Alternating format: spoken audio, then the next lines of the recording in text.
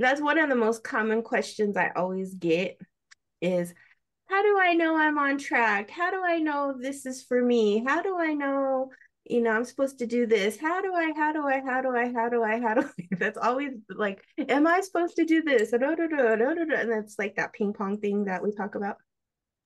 And what I always say is if it feels good and it's not harm harming you or other people, that's the big thing, then it, it's you're going on the right path if it feels bad and you are harming other people and not caring or whatever, it's probably not going to end well. But on the opposite end, nothing will work out. It might work out on the short term, but not the long term. And when you're working with spirit, and see, we're going to start working with the angelic realms. And people always think angels are like, you know, love and love.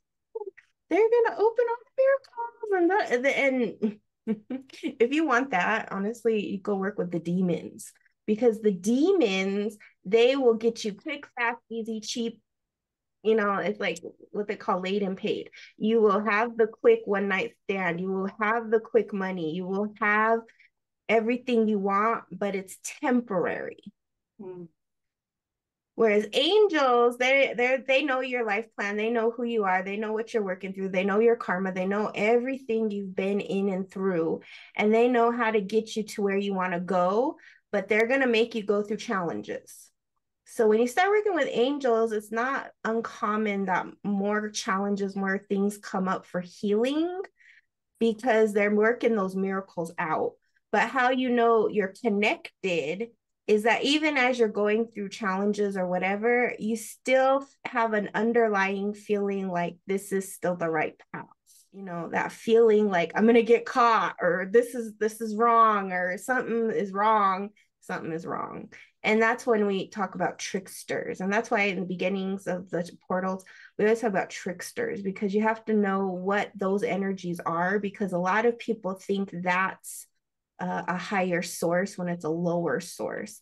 And most everything in our world is run by tricksters.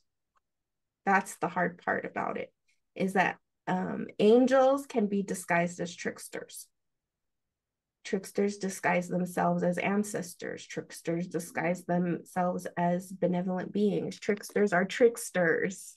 They're tricking you. And how you have to know is your intuition and your connection and your source of truth. Because there are some things you know that you want in life that are going to require a climb. Anything worth your life, you know, worth it is going to require a climb. There's never anything that you're going to get in this world that is quick, fast, easy, cheap. Okay, that's a demon. Okay, quick, fast, easy, cheap. You want quick, fast, easy, cheap. You have to be delusional. And look at everybody in our world. What do they want? I want to go, go viral. I don't want to work. Most of your scams are developed around what? Quick, fast, easy, cheap. Don't pay anything and get a million dollars. You know, buy this contraption, it'll make you this, you know, all this stuff, right? But when we work with the higher realms, they're they're not quick, they're not fast, they're not easy, they're not cheap, and they're not going to give you what you want like that. They're going to make you work because everything in this life is about hard work. But it doesn't have to be sludge work. That's it's not supposed to be, no, it's not supposed to, that's not hard work. Hard work is not beating yourself up every day and I'm gonna push through it and I'll go. No, that's not hard work. That's I don't know, that's hell. Okay, that's hell work.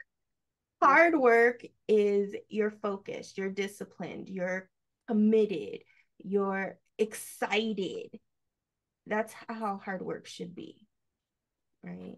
It's, even if you were out in the fields all day, you would still have joy right? Hard work is not beating you up.